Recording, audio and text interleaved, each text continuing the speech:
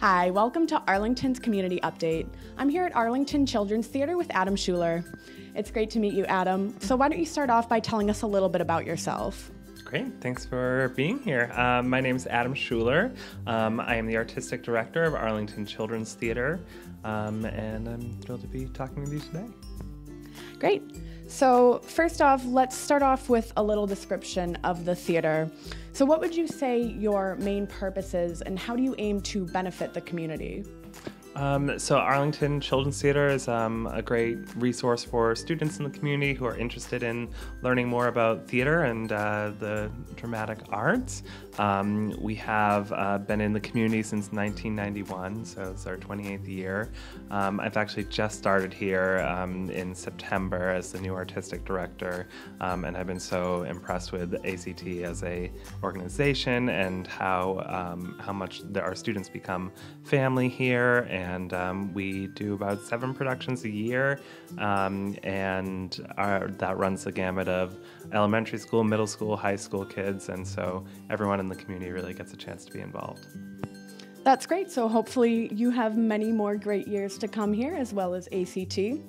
And um, so you said you do seven shows a year. Um, how often do you do shows? Uh, it's throughout the entire year. So we've just launched our fall programming. We're doing a high school production of Our Town and an elementary and middle school production of The Greatest Christmas Pageant Ever. So both of those um, will go up later in the fall. And then we have a winter musical. This year will be Seussical. We're very excited about that. It's a lot of fun. Um, and then in the spring, we'll be doing um, a high school production of Shakespeare's Twelfth Night and a elementary and middle school production of another show.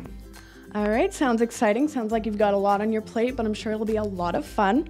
Um, how long would you say the process typically takes from the start of auditions and then up until when you're actually putting on the production? Sure. So, um, an example, we're doing the greatest Christmas pageant ever right now, and um, we are having auditions this week. We'll begin rehearsals next week, um, and that will go up in early December. So, around two to three months typically is the rehearsal process from start to finish. And um, the growth that the students go through in that time is um, just an amazing thing to witness. And then it's always a great production in the end. Okay, so keep that in mind. December, we have a great show coming up. Um, and so you mentioned what shows you have planned. And so, how can children get involved?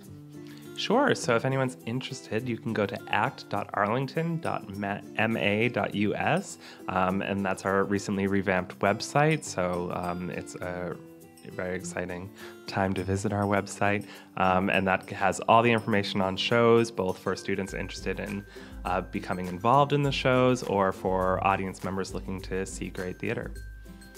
All right, awesome. Well, thank you for the, all that information, Adam. Um, I'm sure there will be plenty of kids who will be more than happy to get involved. And it was great to meet with you today. And um, hopefully, everything goes smoothly with your upcoming productions. Awesome. Thank you so much. Thank you.